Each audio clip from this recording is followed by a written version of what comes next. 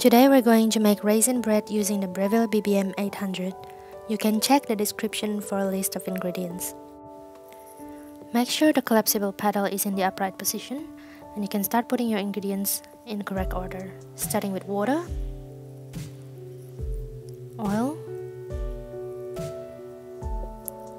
salt, brown sugar,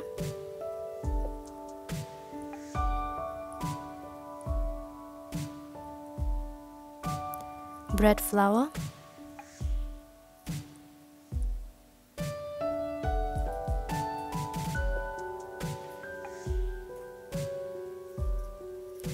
bread improver, milk powder, and ground mixed spice, and lastly the yeast.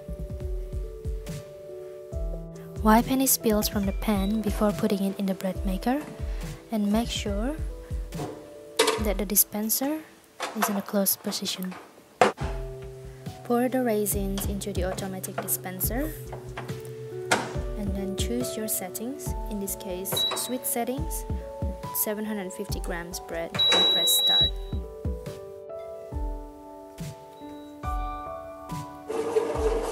Machine will go through two stages of kneading and if you don't have an automatic dispenser, you can add your raisins or other fruits during the second kneading process or roughly around halfway through the kneading process. You can hear the noise in the background that the machine makes during the kneading process. This is actually the loudest noise level that the machine makes throughout the whole process. Then the dough goes through the rising process. You can see it's doubling in size and then it's baking we actually left the machine running throughout the night and just removed the bread in the morning ready for breakfast.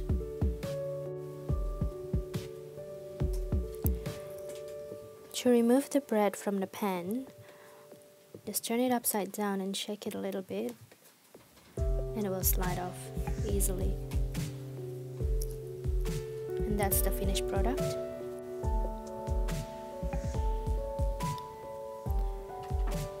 and you can always add more raisins if you prefer it that way. Or if you like you can mix in raisins and other dried fruits.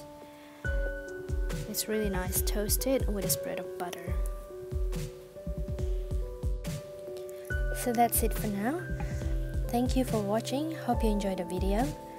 Our next project will be how to make pizza dough and baked asian buns. Please stay tuned and please subscribe to our channel